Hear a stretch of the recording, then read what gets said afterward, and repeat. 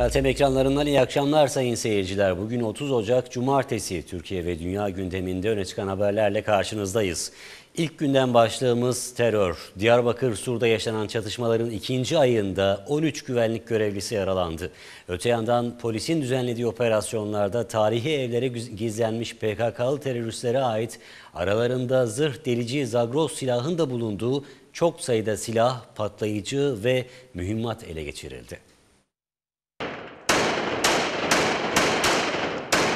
Sokağa çıkma yasağının 60. gününde devam ettiği Diyarbakır'ın Sur ilçesinde operasyonlar devam ediyor. İlçenin çeşitli bölgelerinde dün geceden bu yana sürdürülen operasyonlarda teröristlerin tuzakladığı el yapımı patlayıcıların infilak etmesi ve çatışmalarda 13 güvenlik görevlisi yaralandı. Yaralılar ilçenin girişinde oluşturulan kontrol noktalarında bekletilen ambulanslarla Diyarbakır Asker Hastanesi'ne kaldırılarak tedavi altına alındı. Bir yaralının durumunun ağır olduğu öğrenilirken ilçede çatışmalar sürüyor. Öte yandan Diyarbakır'ın Sur ilçesinde polisin düzenlediği operasyonlarda tarihi evlere gizlenmiş PKK'lı teröristlere ait, aralarında zırh delici Zagros silahın da bulunduğu çok sayıda silah, patlayıcı ve mühimmat ele geçirildi. Basına gösterilen silahlar arasında keskin nişancı tüfeği Kanas, RPG-7 roket atar, Kalaşnikov tüfekler, M16 piyade tüfekleri, el bombaları, çok sayıda savunma tipi el bombası, plastik bidonlara sıkıştırılmış kablo tuzaklamalı el yapımı patlayıcı ve tank savar roket başlığı da bulunuyor. Ele geçirilen malzemeler arasında en dikkat çekici olanlardan biri de el yapımı patlayıcıların harmanlanması için kullanılan iki kahve makinesi. Ve acı haberler. Bugün de iki şehit uğurladık. Jandarma uzman çavuş Yusuf Haldun Uslu Eskişehir'de, jandarma subay başçavuş Tamer Meriç ise Erzincan'da toprağa verildi. Öte yandan Diyarbakır'ın Sur ilçesinde yaralanan bir asker bir süredir tedavi gördüğü Ankara Gata'da şehit oldu. 28 yaşındaki jandarma uzman çavuş Yusuf Haldun Uslu Şırnak Cidre'deki operasyonlar esnasında şehit oldu. Cizre Havaalanı'ndan askeri uçakla memlekete Eskişehir'e gönderilen şehidin cenazesi gözyaşı ve dualar eşliğinde toprağa verildi. Uslu için öğle namazına mütakip cenaze töreni düzenlendi. Öte yandan asker kıyafeti giyen Enes Şahin adındaki çocuk askerler eşliğinde hiç tanımadığı şehit ağabeyinin tabutunun yanına geldi. Al bayrağı sarılı tabutun üstüne gül bırakan çocuk daha sonra tabutun önünde asker selamı vererek cami avlusunun dışında bekleyen annesinin yanına gitti. Kılınan cenaze namazının ardından Uslu'nun naaşı Kanlıpınar şehitliğine defnedildi.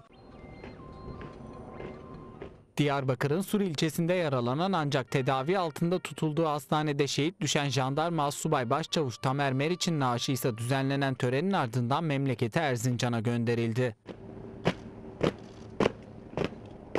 Tamer Meriç Erzincan'da gözyaşı ve dualar eşliğinde toprağa verildi. Meriç'ten geriye ise Sur'daki silah arkadaşlarına söylediği bu türkü kaldı. Cemalim. Seni seven aşık Götürür el Kermanim Sen beni vur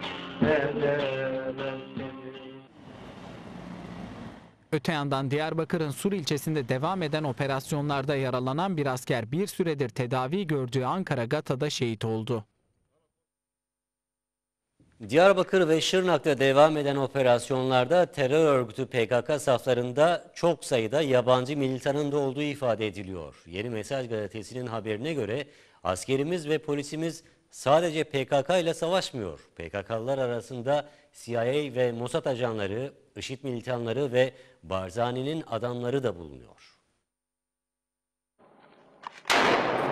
Açılım sürecinin güçlendirdiği terör örgütü PKK Diyarbakır ve Şırnak'ta güvenlik güçlerine yönelik saldırılarına devam ediyor. Sokak çatışmaları Diyarbakır'ın Sur ilçesiyle Şırnak'ın Cizre ilçesinde yoğunlaşmış durumda. Güvenlik güçlerine saldıran teröristlerin içinde çok sayıda yabancı unsur olduğu ifade ediliyor. Yeni Mesaj gazetesinin haberine göre askerimiz ve polisimiz sadece PKK ile savaşmıyor. PKK'lılar arasında çok sayıda CIA ve Mossad ajanı, IŞİD militanı ve Barzani'nin adamları da bulunuyor. Hedefinse bölgeyi Suriye'ye çevirerek kaosu tüm bölgeye yaymak ve Güneydoğu'yu Büyük Orta Doğu projesi kapsamında Türkiye'den koparmak olduğu ifade ediliyor. PKK'nın özellikle keskin nişancıları dışarıdan getirttiği ifade ediliyor. Şırnak Cizre'de etkisiz hale getirilen bir keskin nişancının Sırp uyruklu olduğu ve PKK tarafından kiralandığı ortaya çıktı. Keskin nişancılar örgütün Avrupa sorumluları tarafından kiralanıyor. Özellikle de rütbeli askerlerin vurulması isteniyor. Bölge kaynakları PKK'lı keskin nişancıların yerleştikleri mevzilerden ayrılmadığını, yemeklerinin dahi yanlarına götürüldüğünü aktardı. PKK'lılara karşı Bordo Bereliler Sur'a gönderilmiş, birçok keskin nişancı mevzilerinde öldürülmüştü. Cenevre zirvesi başladı. İlk görüşme Esad'ın heyetiyle yapıldı. Muhalifler ise boykot kararından geri adım attı. Muhaliflerle ilk görüşmenin yarın yapılması planlanıyor. Suriye krizine çözüm bulmayı amaçlayan Cenevre 2 zirvesi başladı. Yaklaşık 6 ay sürmesi beklenen zirvenin başlangıcında katılımcılar konusunda büyük kriz yaşandı. Türkiye'nin de desteklediği Riyad Hicab Başkanlığındaki Müzakere Yüksek Komisyonu taleplerinin karşılanmadığını gerekçe göstererek görüşmelere katılmayacağını açıklamıştı. Kriz yapılan görüşmeler sonrasında aşıldı ve muhalifler Cenevre'ye gitme kararı aldı. Heyetten yapılan açıklamada Birleşmiş Milletler ekibiyle yapılan görüşmeler aracılığıyla karşı tarafın ciddiyetini test etmek için siyasi sürece katılmaya karar verdik denildi. Muhaliflerin Cenevre'ye katılma kararının ABD ile Rusya Dışişleri Bakanları arasında yapılan telefon görüşmesinin ardından alındığı ifade ediliyor. Good morning, everybody. Rusya Dışişleri'nden gelen açıklamaya göre Lavrov görüşme sırasında bazı Suriyeli muhaliflerin Suriye hükümetiyle görüşmek için ön koşullar öne sürmesini kabul edilemez olarak niteledi. Uh, Rusya Dışişleri Bakan Yardımcısı Gennady Gatilov da muhalefet gelmese de görüşmeler başlayacak. Riyad destekli muhalifler gelmiyorsa bu onların sorunu dedi. Rusya'nın tavrı üzerine geri adım atan muhaliflerin Cenevre'ye katılma kararı aldığı ifade edilirken, ABD Dışişleri Bakanı John Kerry muhaliflerin katılıyoruz kararının memnuniyet verici olduğunu açıkladı. Zirvenin ilk gününde Suriye'nin Birleşmiş Milletler daimi temsilcisi Beşer Caferi liderliğindeki 15 kişilik Şam heyetiyle görüşen Birleşmiş Milletler Suriye özel temsilcisi Stefan de Mistura, muhaliflerle görüşmelerin pazar günü başlayacağını açıkladı. Şam heyetiyle yaptığı görüşmeden sonra açıklama yapan Demistura, heyetle hazırlık mahiyetinde bir görüşme gerçekleştirdiklerini ve bunun standart bir uygulama olduğunu kaydetti. ABD Başkan Yardımcısı Joe Biden'dan dikkat çekici açıklamalar geldi. Geçen hafta İstanbul'da Cumhurbaşkanı Erdoğan'la yaptığı görüşmeyi anlatan Biden, Başkan Barack Obama sonunda IŞİD'e karşı daha çok şey yapmaları için Avrupalıların dikkatini çekti. Muhtemelen Cumhurbaşkanı Erdoğan'la fazla zaman harcadım ama Erdoğan sonunda gerçeği anladı. Öz çıkarlar devreye girince işler değişiyor dedi.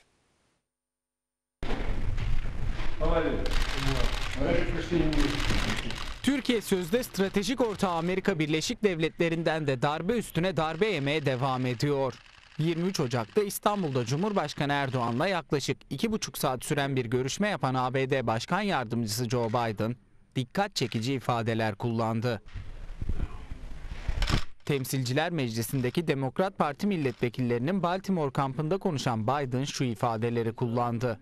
Başkan Barack Obama sonunda IŞİD'e karşı daha çok şey yapmaları için Avrupalıların dikkatini çekti. Muhtemelen Cumhurbaşkanı Erdoğan'la fazla zaman harcadım. Ama Erdoğan sonunda gerçeği anladı. Öz çıkarlar devreye girince işler değişiyor.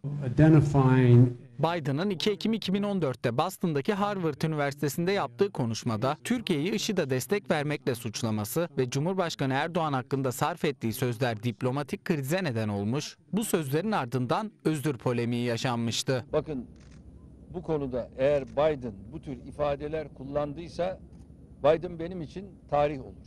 Ve Sayın Biden eğer Harvard'da böyle bir şey söylediyse bizden özür dilemesi lazım. Erdoğan, Biden eğer bunları söylemişse benim için tarih olmuştur derken bir süre sonra Biden'ın Türkiye'den özür dilediği iddia edilmiş. Ancak bu iddia Biden tarafından ben Türkiye'den hiçbir şekilde özür dilemedim açıklamasıyla yalanlanmıştı.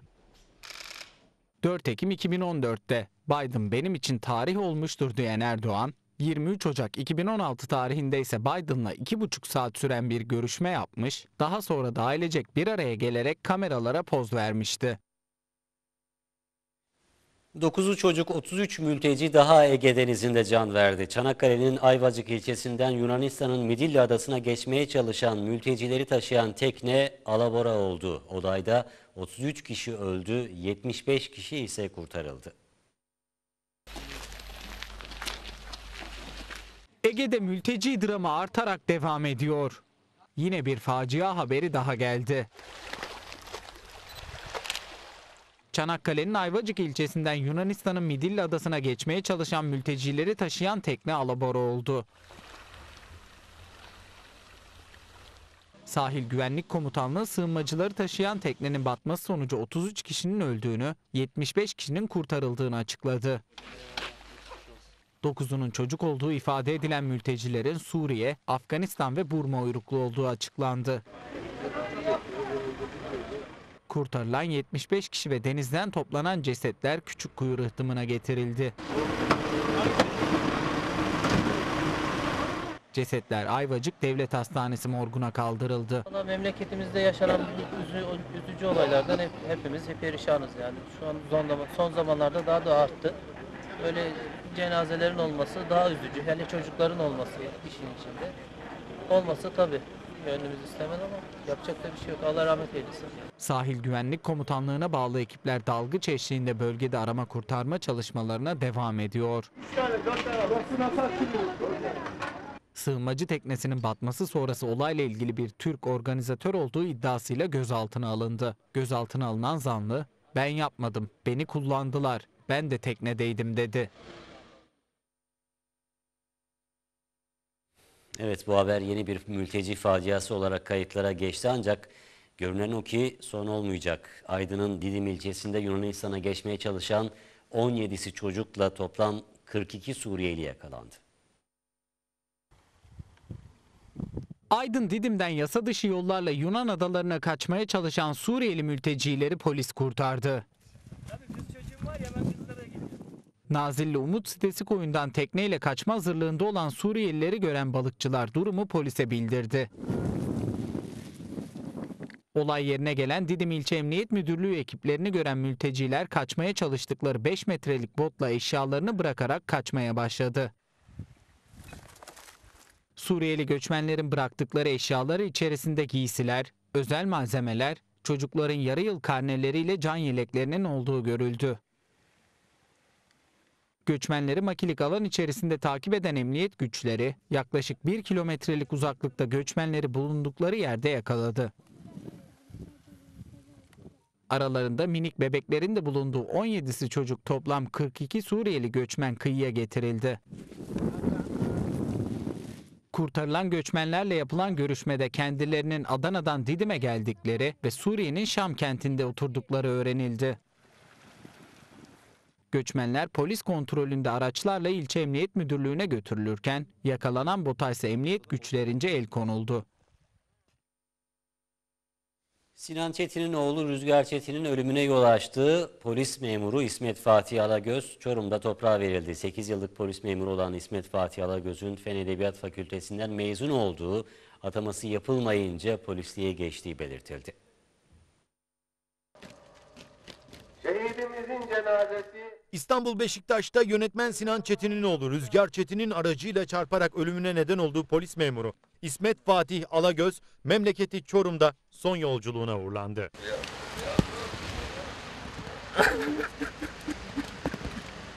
Çorum Eğitim ve Araştırma Hastanesi'nden alınan polisin Türk bayrağına sarılığını aşı 3 Tutlar mahallesinde bulunan evlerine getirildi. Alagöz'ün babasının ve eşinin yaşadığı büyük acı kameralara böyle yansıdı. Yavrum kurban olurum. Yavrum. Cenaze törenine polisin 4 yaşındaki oğlu Metehan'la 2,5 yaşındaki kızı Azra Su getirilmedi. 8 yıllık polis memuru olan İsmet Fatih Alagöz'ün Fen Edebiyat Fakültesinden mezun oldu. Ataması yapılmayınca polisliğe geçtiği belirtildi. Beni de yavrumun yanına koyuyor. Şehit polisin cenazesi Müftü Ahmet Akın'ın kıldırdığı cenaze namazının ardından Ulu Mezar'da toprağa verildi. Ve bir başka bir haber var. Cenaze yolunda meydana gelen trafik kazası haberi. Balıkesir'de meydana gelen trafik kazasında 4 kişi hayatını kaybetti. Görüntüler Balıkesir Kepsut Karayolu Çınarlıdere mevkiinden. Balıkesir Başçeşme mezarlığından aldıkları cenazeyi Kepsut'ta defnetmek için yola çıkan araç Çınarlıdere mevkiinde hatalı sollama sonucunda Kepsut'tan Balıkesir istikametine seyretmekte olan kum yüklü kamyonla çarpışarak şarampole yuvarlandı. Çarpışma neticesinde araçta bulunan Yakup Sarp, Nurşen Bozkır, Fatma Bozkır ve kimliği henüz tespit edilemeyen bir kişi daha olay yerinde hayatını kaybetti. Kamyon şoförü kazayı hafif yaralı şekilde atlattı. Kaza yerinde jandarma ekipleri çalışmalarını sürdürürken trafiğe kapatılan yolda daha sonra kontrollü olarak araçların geçişine izin verildi. İçinde 5 kişi bulunan otomobil gecenin dondurucu soğuğunda denize uçtu. Büyük bir can pazarının yaşandığı olayda araçta bulunan 5 kişi vatandaşlar tarafından kurtarıldı.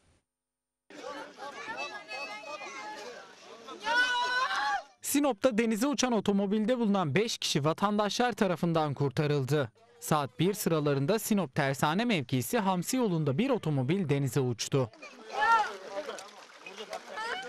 Çevrede bulunan Serhat Ündar isimli vatandaş da soğuk havaya rağmen hiç düşünmeden kendisini Sinop'un soğuk sularına attı.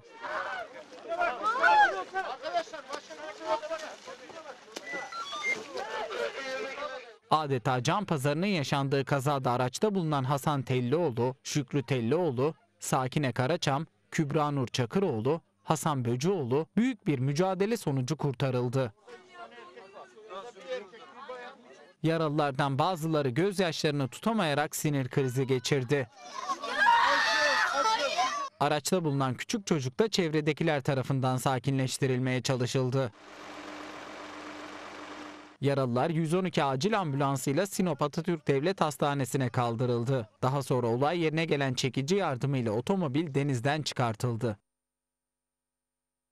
Antalya'da bu sabaha karşı çıkan yangında anne ile oğlu hayatını kaybetti. Tek katlı evde çıkan yangına müdahale etmek isteyen komşuları kilitli kapı ve pencerelerdeki demir parmaklıklara takıldı. Parmaklıkları kıramayan komşular aileyi içeriden çıkartamadı. Anne ile oğul yangında can verdi. Yangın Antalya'nın Kepez ilçesi Beşkonaklılar mahallesindeki tek katlı evde sabah saatlerinde meydana geldi. Eşi Mehmet Ali Koyun'u sabah namazının ardından işe gitmesi için uğurlayan Leman Koyun, oğlu Hasan Sefa Koyun'la tekrar uykuya daldı. Bu sırada evde çıkan yangın sonucu tüm evi dumanlar kapladı. Dumana uyanan Hasan annesini uyandırarak yangını söndürmeye çalıştı. Ancak yangın kısa sürede tüm evi sardı. Çatı kısmı kiremit olan evin büyük bölümünün ahşap olması nedeniyle anne oğul çıkış yolu bulamadı. Yardım çığlıklarını duyan komşular durumu itfaiye ve polise haber verdi. Komşularının anne ile çocuğunu kurtarma çabaları ise kilitli kapı ve pencerelerdeki demir parmaklıklara takıldı. Uzun uğraşlara rağmen demir parmaklıkları kıramayan komşuları anne oğula yardım edemedi. İtfaiye ekiplerinin müdahalesiyle söndürülen yangının ardından anne ile çocuğunun cenazeleri otopsi yapılmak üzere Adliye Tıp Kurumu morguna kaldırıldı. Ben koştum, e, baryozu getirdim. Uğraştım bak, ya- e, eğildi demirler falan. Bir türlü açılmadı. He he. Bir türlü açılmadı. Demiri kurtarıverseydim kadını kurtarabiliyorduk. Yine yangın haberiyle devam ediyoruz. Düzce'de alev alan ekmek fırınını karla söndürdüler. Gaziantep'te ise bir iş yerinde çıkan yangın korkulanların yaşanmasına neden oldu.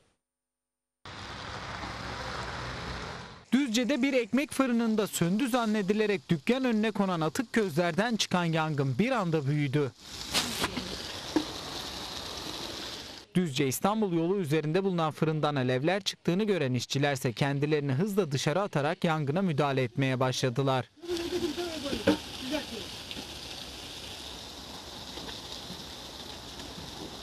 Önce dükkan içerisinden su taşıyarak alevlere müdahale eden işçiler, alevlerin büyümesi üzerine kürekle alevlere kar atarak alevleri söndürmeyi başardılar. Yangında can kaybı olmazken fırında büyük çapta maddi hasar meydana geldi.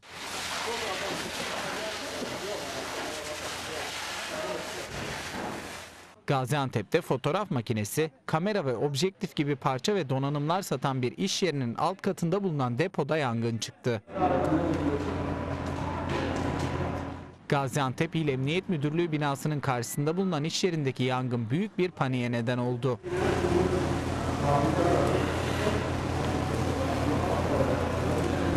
Bölgeye çok sayıda itfaiye ekibi sevk edildi. Gaz maskelerini giyen ekipler duman içerisindeki depoya girerek yangına müdahale etti. Ekiplerin zamanında müdahalesiyle yangın kısa sürede kontrol altına alındı. Depoda küçük çapta maddi hasar meydana geldi.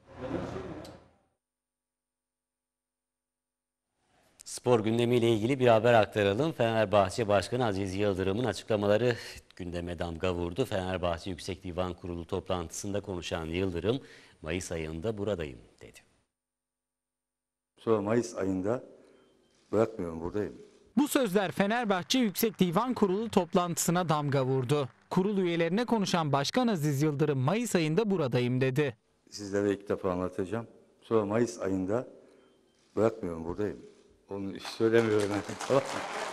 Mayıs ayında Mayıs ayında sizlerin huzurunuzda hazırladığımız bütçeleri getireceğiz. Fenerbahçe bir karar alma dönemine geliyor. Daha önce Mayıs ayında başkanlığı bırakacağını açıklayan Yıldırım'ın bu sözleri büyük yankı uyandırdı. Konuşmasının ardından yeni bir açıklama yapan Yıldırım şunları söyledi. Ha ben ne söyledim? Dava bittiği andan itibaren ben şey alacağım dedim. Kongre kararı alacağım. Dava ne zaman bitecek? Yargıtay'daki dava bizim lehimize onaylandığı zaman. Tamam mı? Ha bu Mayıs'tan önce olursa Mayıs'ta kongre koyarız. Ama Mayıs'tan sonra olursa ona göre arkadaşlarla yöneticilerle konuşuruz ve camianın istediği bir döneme koyarız yani tamam mı? Onun için yani ben bu Mayıs'ta buradayım şeyin lafını başka anlamda anlayıp da başka yerlere çekmeyin. Öte yandan Yıldırım Yüksek Divan Kurulu'nda yaptığı konuşmada dikkat çekici ifadeler kullandı. Televizyonlardaki spor programlarını eleştiren Yıldırım şunları söyledi. E sen kimsin? Ya dün daha top oynuyordun burada. Dün topu, dün antrenördün burada. Vermem ne demek ya? Dersin ki bu kurallara uygun değil. Veya kural bunu söylüyor. O zaman saygı gösteririz yani ya. Her akşam televizyonlarda konuşuyorlar, konuşuyorlar, konuşuyorlar. Bir şey üretiyorlar mı? Sporun gelişmesi için bir katkıları var mı? Yok. Kahvedeki gibi dedikodu yapıyorlar. Ya. Yıldırım geçen hafta futbolcuları protesto eden bir grup Fenerbahçe taraftarına da sert çıktı. Bazı taraftarlar kötü tezahürat yaptılar. Satılmışlar dediler. Yani galiba böyle laflar söylediler. Bunu affetmem ve onlara buradan sesleniyorum.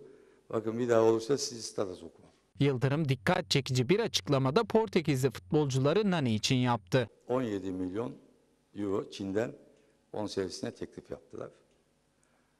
Ama dün akşam 20'ye çıktılar. Biraz daha şey yapsak yani niyetlensek 25'e kadar çıkacak. Basında benden duysun. 20 kendisiyle konuştuk. Göndermeyeceğimizi kendisine söyledik yani vermeyeceğimizi.